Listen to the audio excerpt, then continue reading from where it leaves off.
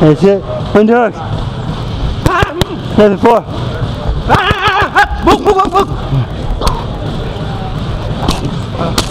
Jab. Two here. Jab.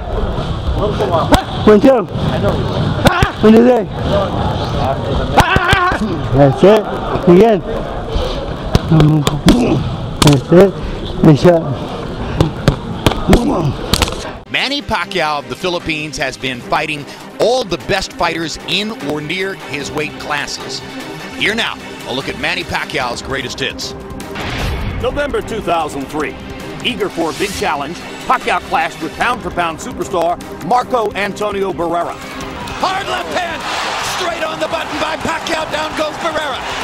Barrera getting three chances to counter with the left hook, but taking a lot of leather to do it. Barrera's left eye is now starting to swell badly. Explosive presence, Pacquiao silenced the skeptics. Marco Antonio Barrera taking by far the worst physical beating of his career.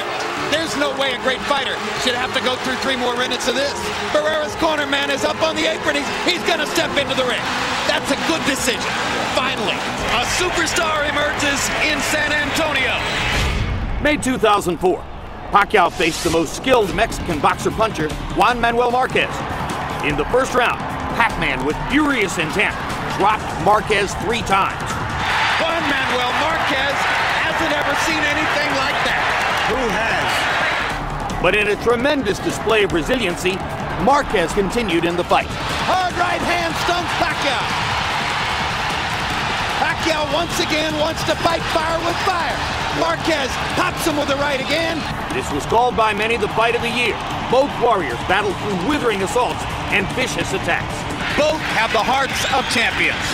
The hellacious night would end with a disappointing and controversial draw. March 2005. The Filipino phenomenon would now go toe-to-toe with Mexico's legendary Erik Morales in what would begin an epic trilogy. What incredible competitors both of these guys are. Morales controlled much of the fight. Left hook by Morales again. Sent Pacquiao reeling into the rope. Great left hand by Morales stops Pacquiao in his track. And won by unanimous decision. Do you want a rematch? Anytime, um, anywhere. Ten months later, Pacquiao got his shot at redemption. And Manny wasted no time, taking it to Morales, round by round, Pacquiao attacked. That's the first real knockdown of Erik Morales' career. A visibly worn down and beaten Morales Totally exhausted. faced the inevitable in the late rounds. Pacquiao avenged his earlier loss with a dominant 10th round TKO victory. Ten months after Pacquiao had evened the score with Morales, they faced off again in the highly anticipated rubber match. Pacquiao picked up right where he had left off, dominating the overmatched Morales. Down goes Morales on a Pacquiao right hand. Pacquiao was determined to put an exclamation point on the classic trilogy. And down he goes. Punch after punch after punch. Manny wants to finish Morales right here. And the brave heart of Morales holds up, but his legs go again. Third knockdown of the fight by Pacquiao against Morales. doesn't want to get up. Morales shakes his head as if to say, I want no more. After a second victory over Barrera, Pacquiao finally got together with Juan Manuel Marquez for a rematch four years in the making. Hard right hand by Marquez. Uppercut by Marquez. Huge left hook. Buckles Pacquiao. In round three, Manny Pacquiao responded in vintage fashion. Down goes Marquez on a straight left hand shot. Perfect shot by Pacquiao. Both fighters were bleeding in the middle rounds as the fight's intensity hit a fever pitch. Pacquiao landed a quick right hook. Momentarily lifted Marquez off his front foot. Another left hand for Pacquiao. There's a perfect combination by Marquez. They trade shots. What a war. Both men trying desperately to win the round. In round 10, Pacquiao's power once again left its mark. This all started with a brilliant Pacquiao left hand, which looked for a moment as though it was going to knock Marquez down. And once again, the two legendary fighters brawled to the finish. Marquez going out on his shield if he's losing and showing you all the heart that you might expect from a great, proud Mexican fighter. What guts both fighters have shown tonight. One more right hand for Marquez. One more combination for Pacquiao. They trade shots down the stretch. In another classic battle, Manny Pacquiao escapes with a split decision victory. The third round knockdown proving to be the scoring difference. December 2008. Pacquiao and Hoya squared off in a highly anticipated dream match. From the opening bell, Pacquiao's speed advantage shocked De La Hoya and rocked him back on his heels. He takes a straight left hand and a right hook from Pacquiao, and Pacquiao lands a brilliant uppercut up the middle. You might describe the first couple of rounds as shock and awe. Blending his blinding speed with precision accuracy, Pacquiao continued peppering De La Hoya to the head and body. He's getting hit with virtually every shot that Pacquiao throws. This is getting embarrassing. And he is gradually reconfiguring De La Hoya's beautiful face. You can't handle your speed, son. Manny Pacquiao never let up on boxing's most well-known star. Manny Pacquiao is annihilating Oscar De La Hoya. After eight brutal rounds, De La Hoya's corner had seen enough. There's no reason to continue with this. He's too fast. Are you okay with that? It's done. Manny Pacquiao has beaten Oscar De La Hoya. May 2009. The red-hot Pacquiao met Ricky the Hitman Hatton. Pac-Man came out on fire, giving Hatton all he could handle in round one. Follows the jab with a hook, comes back with another jab. There's the straight left hand, and he landed it right on Hatton's chin. And down goes Hatton after he swings and misses with a left hook. And that's a knockdown for Manny Pacquiao. Hatton wants to fight back. Pacquiao's hands are blindingly fast. Another perfect right hand for Pacquiao. Another right hook. Straight left hand. Pacquiao's landing at will. Hard left hand. Hatton has to hold on. Will Hatton make it out of the round? He's down for the second time. This is the brilliance of the Filipino slugger. In round two, Pacquiao closed the show in scintillating fashion. Hard left hand by Pacquiao. Stunned Hatton and knocked him back. Look at the brilliant accuracy of Manny Pacquiao. Landing with both right and left hands. Boom. Oh my gosh, what a straight left hand. That is that. What an amazing knockout shot. That is the most spectacular one-punch shot of Manny Pacquiao's incredible career. November 2009. Manny Pacquiao once again moved up in weight, this time taking on Puerto Rican star Miguel Cotto. Pacquiao and Cotto went at each other with a vengeance, and several of the early rounds were classics. There's the speed advantage for Pacquiao. He starts to open up. Good left hook by Miguel Cotto. Crowd comes out of his seat for that one. Uppercut snaps Pacquiao's head back. Pacquiao hits Cotto with a hard left hand, and another, and another. Good body shot by Cotto. Drops Pacquiao in the corner. What a round. This is what we came for. Pacquiao began to take control with knockdowns in rounds three and four.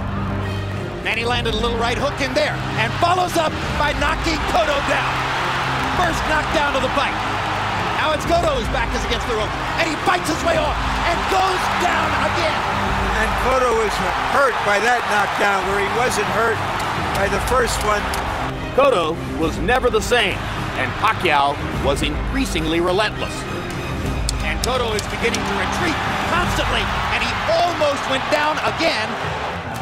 Hard right hook by Pacquiao, landing more or less at will now. Cotto backs into the corner. He's in big trouble now. The fight could end in a matter of seconds. Bloodied and beaten, Miguel Cotto showed tremendous courage, continuing the fight into the final round. Now Kenny Bayless does his duty.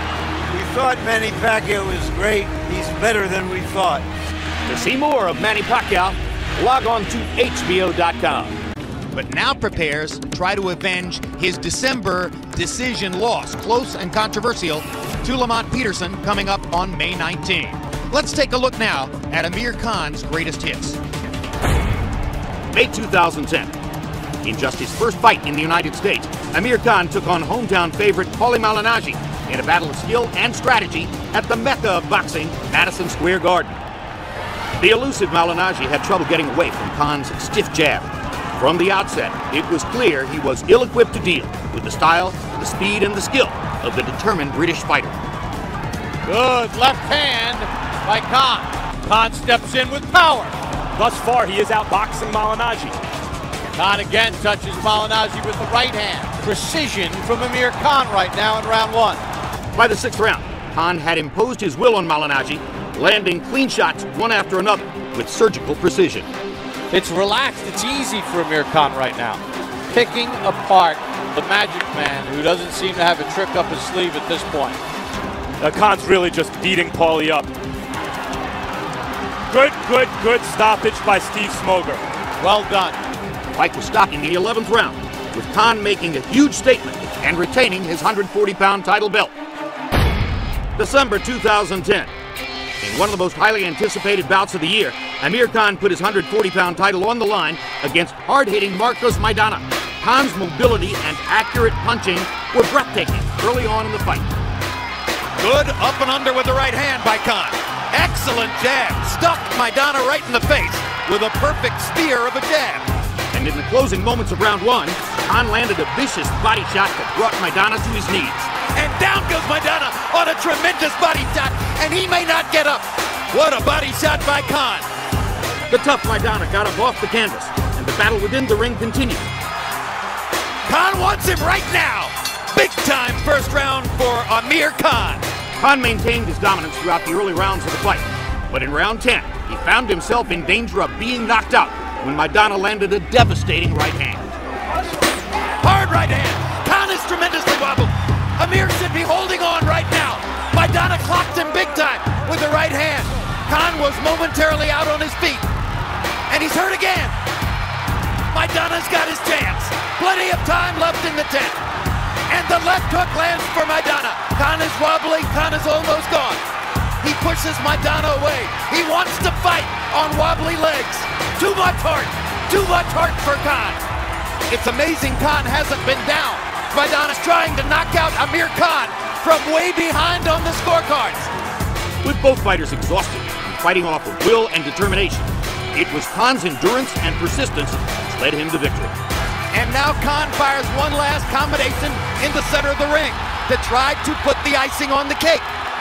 Gentlemen, that was a fight. April 2011. Khan returned home to his native England, putting his light welterweight title on the line against Irish southpaw Paul McCloskey. Throughout the early rounds, Khan launched a patient attack, taking advantage as McCloskey stubbornly kept his hands low. Right hand over the top, drives McCloskey back toward the corner. Khan is winning the fight because he's fast and he's outworking. Khan stayed on the offensive, dictating tempo and consistently striking first. One-two combination by Khan knocks McCloskey back. Now McCloskey momentarily seems wobbled.